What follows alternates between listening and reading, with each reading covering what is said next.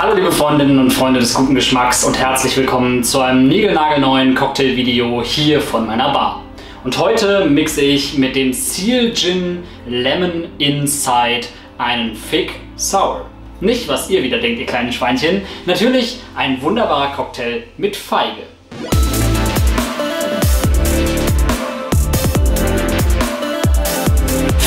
Sour braucht ihr neben Seal Gin Lemon Inside auch noch etwas Rohrzuckersirup, Limettensaft, eine Feige, wie der Name schon sagt, und etwas Aquafaba. Ihr kennt das, ihr könnt natürlich auch Eiweiß nehmen.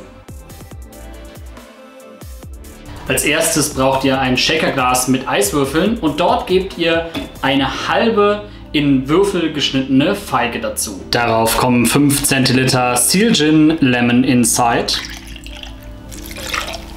2,5 Zentiliter frisch gepresster Limettensaft, 2 Zentiliter Rohrzuckersirup,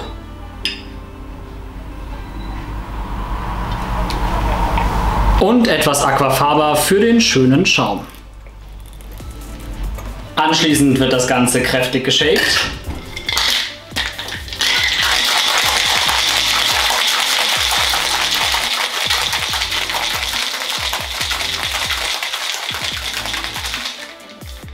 Und doppelt in ein frisches Shakerglas abgeseit.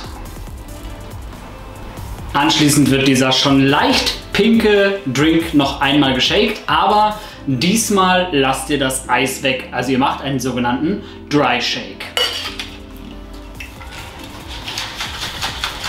Das sorgt dafür, dass ihr am Ende so einen richtig schönen Schaum auf eurem Drink bekommt. Anschließend ihr den Drink auf frisches Eis in einen Tumbler ab.